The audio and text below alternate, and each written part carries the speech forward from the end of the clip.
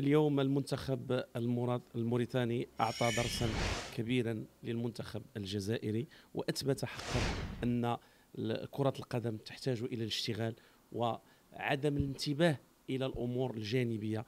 اليوم شاهدنا أن أحمد يحيى يجني ثمار العمل الكبير الذي يقوم به في الاتحاد الموريتاني وكيف أن موريتانيا اليوم آه، لأول مرة تأهل الثاني لها ربما في كأس إفريقيا توجد الآن في الدور الثاني آه، عمل كبير. هناك من يجيد الكولسة هذا هو الفرق الكبير.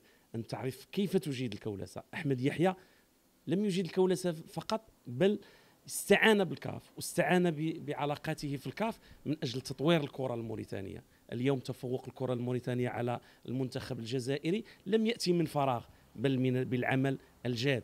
ما يمكنش أن نقولوا تحت الصومعه على الحجام لأن اليوم العمل هو اللي كيجيني الثمار ديالو وما يمكنش أننا نلقيو الفشل ديالنا والشماعه ديال الفشل ديالنا على على على على, على, على أشخاص معينين. وأخص بالذكر فوزي القجع لأن فوزي القجع رئيس الاتحاد المغربي ويشتغل على أساس تطوير الكرة المغربية. واليوم هذا التطور اللي وصلت ليه سواء موريتانيا والمغرب فهو بالعمل بالعمل بالعمل.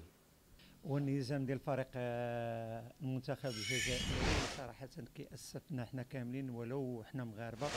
لكن الانهزام السبب ديالو الرئيسي وهو الإعلام الجزائري اللي ضخم هذا الفريق. وفي العود ما الجامعة ديال الجزائريه تبقى قابلة المشاكل اللي عندها.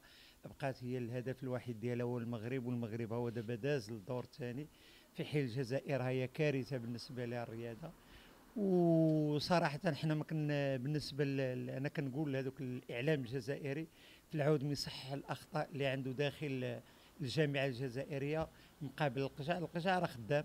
وغادي وكتشوفوا المستوى اللي وصل ليه المغرب في جميع الرياضات حنا ما نهضروش غير على المنتخب ولا كأس إفريقيا.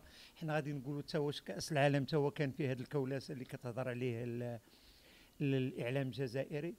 وحنا معروف عندنا حنا ولينا كمغاربه حنا كشعب راه كنحبوا بعضياتنا ولكن ك كحكومات راه كنعرفوا شكون كيسير. بالنسبة للمغرب راه داير هذيك السياسة ديال الأناقة وغادي ما كيردش بالميت ولكن الخيار اللي اختار الجزائر الإعلام الجزائري بالضبط والكابرانات وهو كيعاديو المغاربة. يعني بشي حاجة اللي اللي اللي ما غترجع لهم إلا نقولوا بالمشاكل وهما دابا نيت غادي يشوفوا شنو يقدروا يديروا باش غيكذبوا مرة أخرى للشعب باش غادي يقولوا لي عاوتاني راه المغرب اللي قصانا راه السياسة اللي غادا بها الجزائر هي اللي كتحاول ما أمكن تغطي عيوبها بعيوب بالنجاح ديال الناس أخرين. والمغرب كنقولوا لهم إن شاء الله داكشي اللي داروا في كأس العالم غادي يكون إن شاء الله في كأس إفريقيا.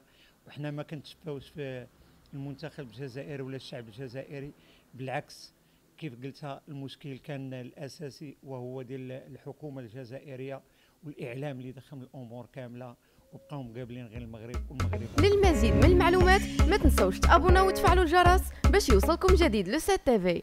هذا البرنامج قدم لكم من طرف كوتي سبور. كوتي سبور منتوجة المغربية للألعاب والرياضة.